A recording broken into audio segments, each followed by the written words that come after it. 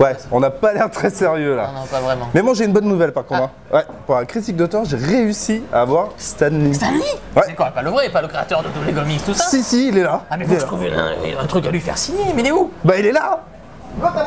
Mais c'est pas Stanley, c'est un Mais c'est imposteur quoi cette copie? Mais. La critique no popcorn du film. Thor, le monde des ténèbres. C'est parti.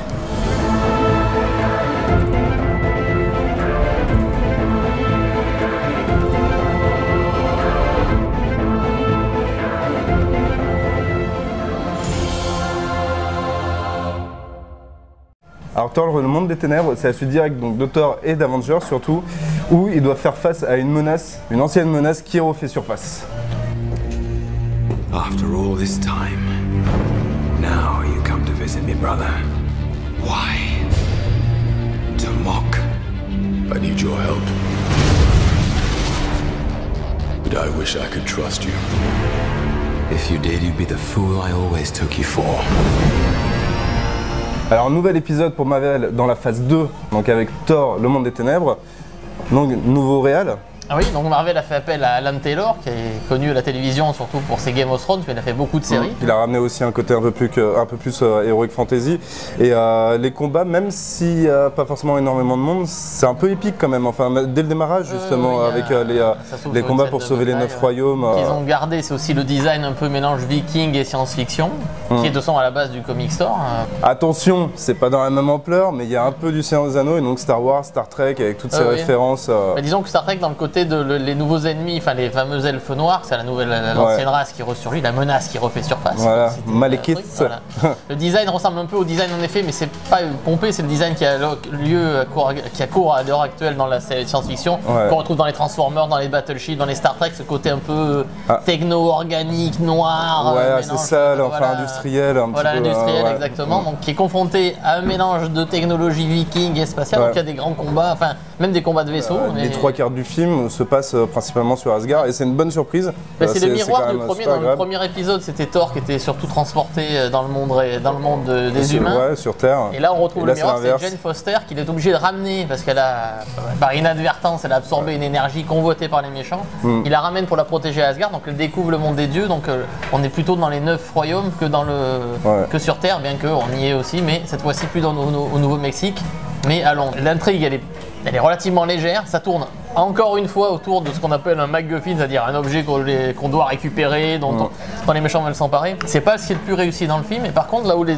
il y a eu de multiples scénaristes, ils ont bien travaillé, c'est les personnages. Ils se reposent sur leur interaction.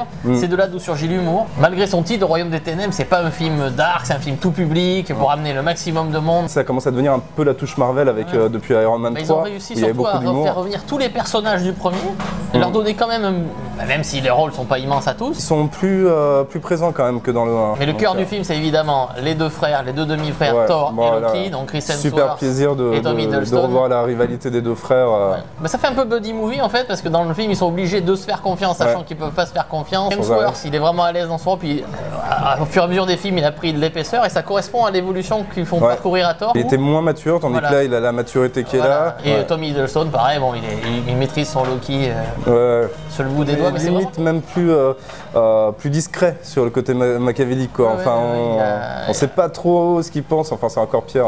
Et Nathalie Portman, moi j'ai trouvé qu'elle était mieux, euh, plus mise en valeur là dans celui-là. ce Elle dire. est plus jolie déjà, enfin, euh, plus, plus mise en valeur physiquement Mm. et en plus aussi au niveau du, euh, au niveau de son rôle euh, qui est beau- beaucoup plus important. Même Euh, le Darcy, docteur euh, Selvig, l'acteur Stellan Skarsgård, Skarsgård, ça devient un vétéran parce qu'il est maintenant dans, il a été euh, dans la pause générique de Ouais. Captain America, il était dans Thor, dans Thor 2, dans Avengers. Après, alors le, le travail euh, de la réalisation, enfin au niveau effets spéciaux, moi j'étais bluffé. Le budget il a été maximisé. euh, Oui, oui, hein, beaucoup d'effets visuels, important, des bons, des bons combats type super-héros parce que Ouais. c'est quand même une adaptation de comics. Il faut vraiment rester jusqu'à la Oui. dernière, mais dernière seconde. Restez, tant, bon. que le- le- tant que l'écran s'éteint pas, il faut rester. Voilà. ouais. Même si vous pensez que euh, Marvel on reste pour, mais Non, restez non. vraiment jusqu'au bout du bout du bout. C'est un petit conseil.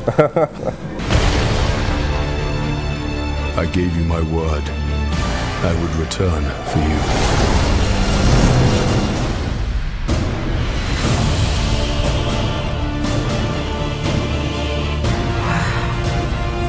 You face an enemy, known only to a few. Bon, il y en a quelques-uns, même si j'ai beaucoup aimé le film. Donc, je dirais en, en premier, ce qui me frappe, c'est les méchants. Visuellement impressionnants, mais ils servent, ils, sont, ils servent uniquement de méchants, ils n'ont pas vraiment de personnalité, Mm. sont des éléments de l'intrigue. Deuxièmement, un moins, mais que j'expliquerai quand même un peu, c'est que la mise en scène d'Alan Taylor, elle est quand même relativement impersonnelle. Si vous le mettez co- comparé à d'autres films Marvel, vous verrez à peu près. où- Il n'y a rien qui le distingue en particulier, mais ça vient du fait que les films doivent s'imbriquer dans un tout, avoir une homogénéité de, de- de design. Le petit bémol, c'est qu'il y a des faux raccords. Et moi, ça m'a un peu perturbé. Enfin, tu sais, j'ai l'œil un peu partout à chaque fois. Et euh, je fais pas exprès de les... Mais il y en a quelques-uns qui m'ont euh, un peu choqué, non un avec la, la mère de Thor. Autrement, c'est surtout les, euh, les scènes où il y a un petit peu de blabla. C'est pas forcément des, euh, des- des scènes qui apportent quelque chose au film. Voilà. Enfin, pour Ouais, moi, c'est bah, pas, c'est pas énorme. I'll find a way to save us all.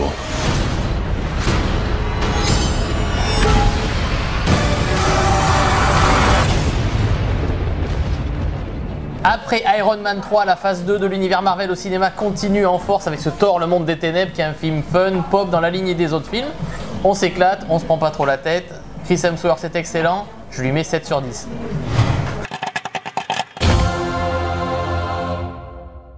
Très belle réalisation en maximisant le budget. Il y a un petit côté aussi référence au Seigneur des Anneaux, à Star Wars, à Star Trek. En plus, Chris Hemsworth, il commence à devenir indispensable dans le personnage de Thor, comme de Robert Downey Jr. pour Iron Man, Hugh Jackman pour Wolverine. Donc pour moi, c'est un 8 sur 10. Mais maintenant, on boit un coup. Hein. Salut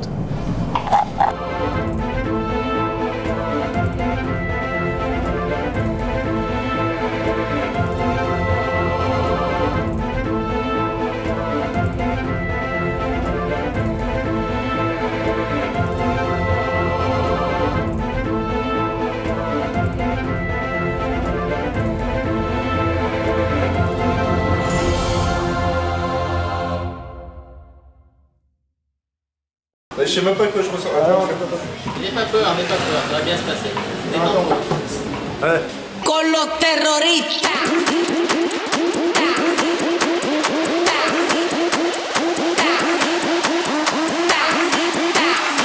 Mais c'est un imposteur Tiens la critique n'a pas peur. C'est maintenant C'est parti